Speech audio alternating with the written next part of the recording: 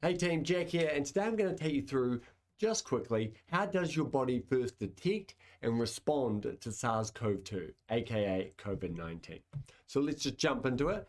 The first thing I want to do is have a look a wee bit at the human anatomy. So this is a lung alveoli. So this is where gas exchange occurs inside your lungs. In here is gaseous, out here is the bloodstream, and so this is where gas exchange is going to occur. And we see these cells inside and outside the alveoli. And these cells are macrophages, right? So we have alveoli macrophages that are in the alveoli and interstitial macrophages that are between the alveoli and the blood vessel. We also have monocytes which come down the blood vessel and can be recruited in to uh, the interstitial space and replace these macrophages here. So the monocytes can then become macrophages. And so, really, it's these monocytes and macrophages that are your first um, responders when it comes to SARS CoV 2. And so, what does that mean? That means when we start talking about how does your immune system initially respond to SARS CoV 2, we're talking about the innate immune system. The adaptive immune system is going to come later. So, the innate immune system, the response can be broken up into sensing, signaling, response, and resolution SSRR sensing, signaling, response, and resolution. So let's start with sensing. How does a macrophage detect a pathogen or another resident uh, immune cell? How do they detect a pathogen? And what they do is they detect pathogen associated molecular patterns, which are molecules on the surface or released by uh, pathogens. Now, there are a lot of pathogens out there, right? There are a huge number of pathogens out there, and each of them are going to be covered in a unique set of pathogen associated molecular patterns. Not only that, when your body evolves to detect and respond to a protein or a carbohydrate or a molecule on the surface of a pathogen, there is now a selection pressure for that pathogen to change its PAMPs, evolve away from its existing pathogen associated molecular patterns into a new one, right? So there's this arms race. Can we develop detectors for those pathogens and can they change those pathogens, um, pathogen associated molecular patterns fast enough for us not to detect them? And it's for this reason that the macrophage and other innate immune cells have developed a huge number of receptors designed to bind to and detect these PAMPs. So let's just have a look at a few of them. And this isn't all of them, this is just a few of them. Oh, just quickly. So yeah, there's different molecular patterns. And what I'm going to do is, here's a, just some examples, right?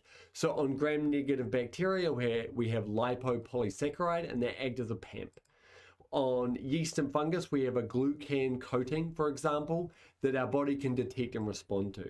Um, and in RNA and in viruses such as coronavirus, there might be weird RNA that might be GU rich or GC rich. And if we look at wee segment of the coronavirus, here we can see GU, GGU, GU. We can see high GU rich RNA here in the coronavirus.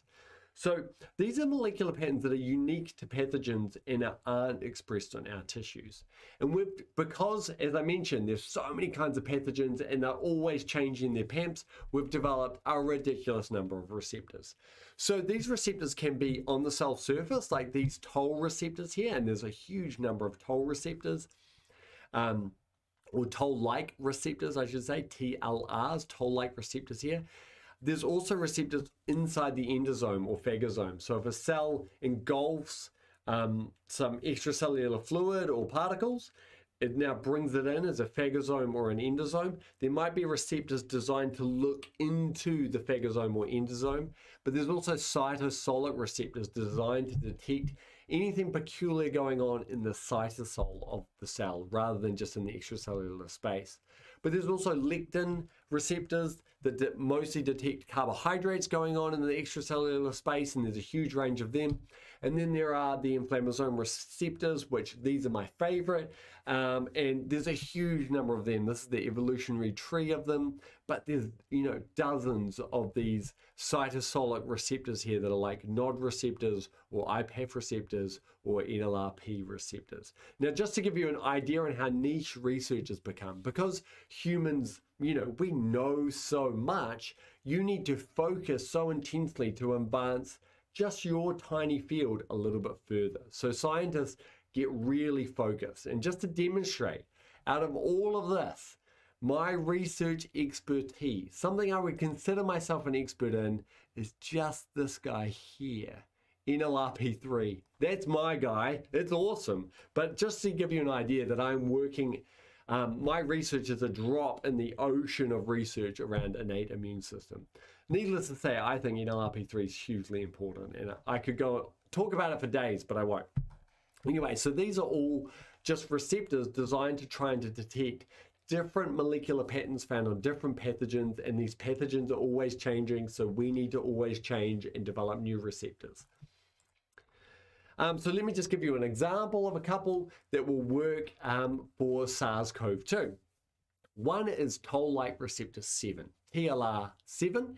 Um, it's designed to detect um, uh, viral RNA, which tends to have unique sequences in viral RNA, um, GC rich, for example, or GU rich RNA.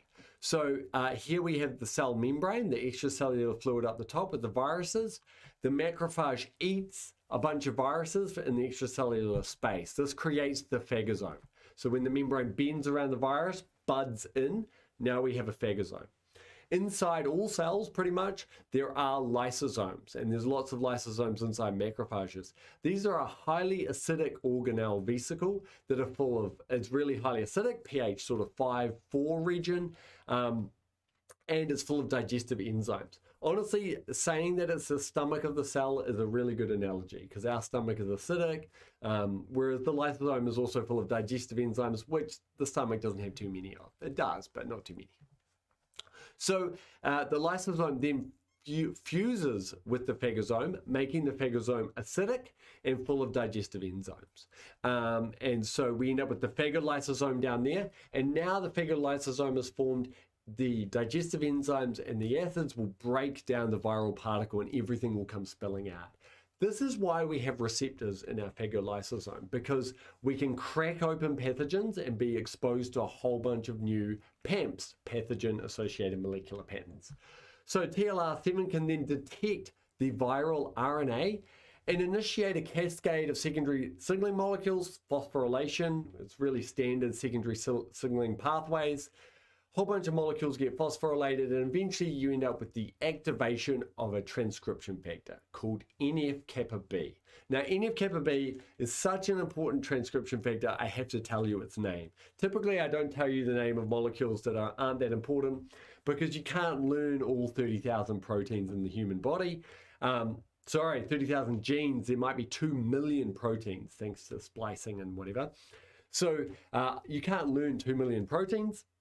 But NF-kappa is such an important one, I really want you to learn it because it regulates a huge portion of the immune response. So NF-kappa B, once activated, goes from the cytosol into the nucleus. It recruits RNA polymerase, and away we go. We start generating a whole bunch of inflammatory anti-pathogen genes get turned on. Essentially a huge number of genes. I think NF-kappa B regulates over 600 genes to do with the immune response. So TLR7 detects the RNA and turns NF-kappa B on. Another one is RIG1. Now, this is an interesting one because this detects viral RNA in the cytosol rather than in the phagosome. But how do you get viral RNA in the cytosol? Well, you get it through infection. So uh, in this case, uh, the SARS-CoV-2 has bound to the ACE2 receptor on the macrophage. And that's super interesting because macrophages do express ACE2. Other viruses bind to other um, membrane proteins that aren't expressed on macrophages. So RIG1 would not work for them because there would never be viral RNA just released into the cytosol. Um, the original SARS, SARS-CoV-1, um, couldn't get into macrophages through this mechanism, through binding to a receptor, because the receptor wasn't expressed on a macrophage. And so RIG1 wasn't involved in that response. There are a couple of exceptions, but yeah, roughly, uh, this is a, a good example of how viral RNA gets into a macrophage. It requires the expression of that protein. So RIG1 normally floats around in a monomer form and it forms a dimer as they both bind to the uh, viral RNA. And this again requires that unique nucleotide sequences that are often found in viruses and aren't found in our genome. When it dimerizes, it again causes a phosphorylation cascade that activates a number of uh, transcription factors. Um, and we've got NF-kappa B and IRF um, which uh, will induce interferon responses, and NF-kappa B will induce uh, cytokines, prostaglandins, and other genes in, involved involved in the immune response. So here we're going to get um, an inflammatory response, and here we're going to get an interferon response. And I'm going to talk to you a little bit about that later. Right now, we're just dealing with sensing SARS-CoV-2. So RIG1 is really important for sensing SARS-CoV-2 and the viral RNA. So now let's move on to signaling. Now that we've detected SARS-CoV-2, what happens next? Well, um, so the resident immune cell will produce prostaglandins and cytokines. Let's do a quick breakdown on what they are. So prostaglandins are a small molecule. Um, they're more of a metabolite than um, something like a protein. Uh, they are produced by an enzymes, um, and one example is the COX-2 enzyme. And this enzyme it will digest uh, compounds from the phospholipid membrane and turn them into a prostaglandin, which can then go off and act as an inflammatory signaling molecule. Um, so the COX2 uh, enzyme is normally not expressed and it's turned on in response to a damage associated molecular pattern or a pathogen associated molecular pattern, or it can even get turned on by other inflammatory signaling molecules acting on the receptors of the cell. So maybe um, an inflammatory signaling molecule from another cell will come bind to the receptor and kind of act like a PAMP or a DAMP, but it's actually produced internally from uh, from you. you.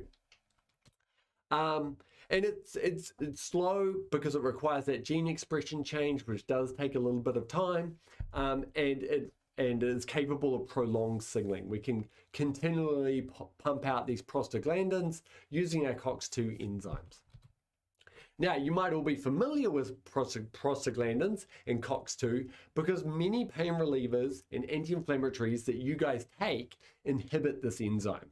So for example, um, aspirin, ibuprofen, Voltaren, they all inhibit the COX-2 enzyme, preventing the production of prostaglandin, protecting that, preventing that inflammatory immune response. So this is why they're anti-inflammatories. That's why aspirin is an anti-inflammatory.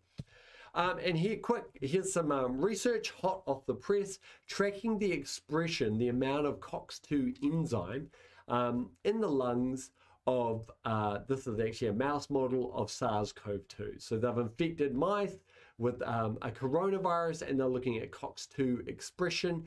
And you can see after four days and seven days, the COX2 expression goes up massively post-infection. And that's as the virus starts to replicate and take hold, we can now then detect it and now then initiate an inflammatory response. And now you will start to see symptoms of, of the, the coronavirus because many of the symptoms are actually caused by our immune response. And this is why you might be contagious before you're symptomatic. Right, so prostaglandins. Now moving on to cytokines. Now cytokines are a little bit different. Cytokines are protein inflammatory signaling molecules, but they can also be anti-inflammatory signaling molecules. They're proteins that regulate the inflammatory response. Um, so they're again a little bit slow because they require changes in gene expression. Um, and there's a few different kinds of cytokines. And by a few, I mean a hecton. There are a hecton of cytokines. So I'm just going to go through a couple of examples. So what, here we've got interleukin 1, IL-1, and TNF, TNF-alpha. Now these both require gene expression and post-translational modification. And the reason is these are extremely inflammatory, and so the cell wants to be very sure before it releases them. So without this post-translational modification, these uh, inflammatory molecules won't be released pretty much, and they won't be very inflammatory. So it's acting as uh, a, it requires two stages. You need um, the switching on of the genes, and then you need some a second signal to initiate these post-translational modifications, which are cleavage in this case, the cutting of the protein will activate it and now it can be released in inflammatory. So it's got this two checkpoints because we don't want to accidentally release these molecules because they're so inflammatory and inflammation can be damaging. Remember, the innate immune system is like a tank. It uses crude mechanisms that cause damage to the pathogens and damage to us. Um, but another example, say interleukins, um, interleukin 6, so that's IL-6 instead of IL-1 down here, and interferons. So these are protein inflammatory signaling molecules, cytokines, um, and these don't have those checkpoints. These just need to be expressed and then they're automatically released.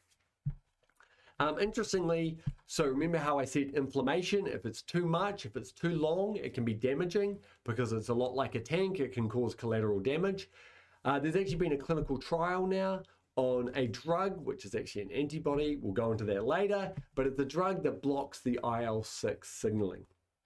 And it found that it reduced the death of severe late case, late stage SARS CoV 2.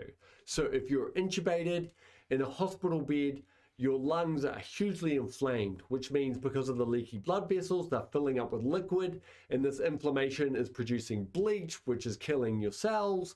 And, you know, so you're having this non specific, uh, damaging response, inflammatory response for a long period of time, and it's too much. Um, it can actually cause death. And so by blocking the inflammatory response here with this drug, which is an antibody, which I'm going to go into later, um, uh, this antibody blocks the IL-6 signaling, you can actually prevent some of the deaths caused by SARS-CoV-2. Right, let's keep going. Okay, now sometimes learning the etymology or the word origins of a uh, of, of a scientific term really don't help. Like TLRs, learning what TLR means or what NLRP3 means or what NF kappa B means, it doesn't help you understand the situation. So what we do is we just talk with acronyms, and that's what everyone does. Everyone just says TLR, and we know what TLR means. It's one of those receptors that detects PAMPs, right? Um, but sometimes the etymology game can help you learn. So uh, I'm going to jump through an, etymology game, just three rounds here.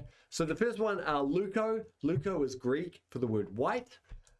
Cyte means cell, and you guys know that. Leukocyte, lymphocyte, you know, um, a lot of cyte, monocytes, a lot of cytes mean cells. So leukocyte means white blood cells. So leukocytes, any white blood cell in your blood, that's a leukocyte, right? Etymology game round two. Inter means in, right? That's obvious. Inter means in. Luke is short for leukocyte.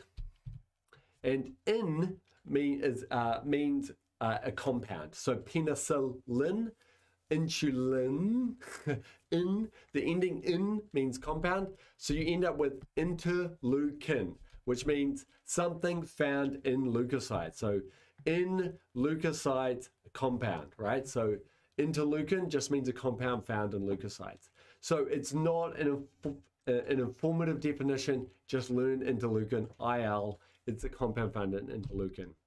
Round three, interferon, it was named because it interferes with viral life cycles. So this is a nice and simple one. Interferons interfere with viral life cycles. So that's an etymology game. Um, and so now we're going to start looking at the response, but what I might do is stop there and we'll look at how the body responds once the signaling has occurred to SARS-CoV-2, just to keep the videos not too long.